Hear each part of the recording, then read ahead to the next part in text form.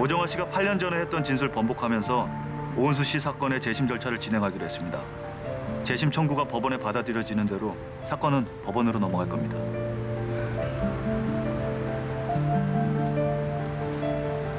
많이 힘들지.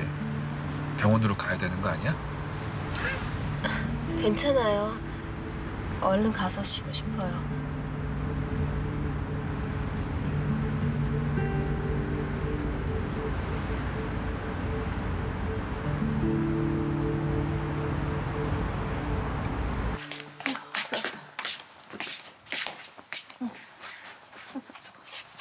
아빠는 응, 오늘 세미나가 있어서 내일 와.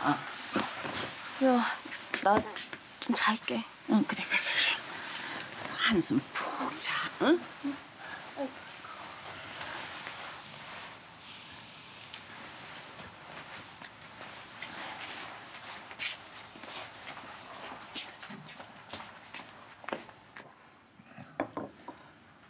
어른들께는 뭐라고 했나? 아, 몸이 안 좋아서 병원에 들렸다 간다고 말씀드렸어요. 그래. 내가 자네 볼 면목이 없네. 아, 그런 말씀 좀 마세요. 빛나가 잘못한 것도 아닌데요. 변호사는 뭐라고 하나요? 말도 안 된다고 하지. 고작 증인 한 사람으로 재심을 청구한다는 게 말이 되나? 걱정 말게. 재심이라는 게 그렇게 쉬운 게 아니야.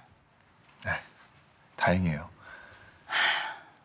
아무쪼록 우리 빛나 잘 부탁하네. 마음 같아서는 당분간 데리고 있고 싶네만은 지가 싫다고 하니까 뭐 제가 잘하겠습니다. 지금 가장 힘든 건 빛나일 테니까요. 그래 그래. 우리 빛나가 자네를 얼마나 좋아하는지 알지? 네,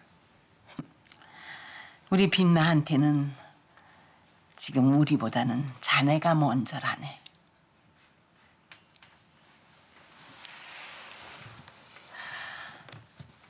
우리 빛나 곁에서 잘 지켜주게. 무슨 일이 있어도 걱정 마세요, 할머니.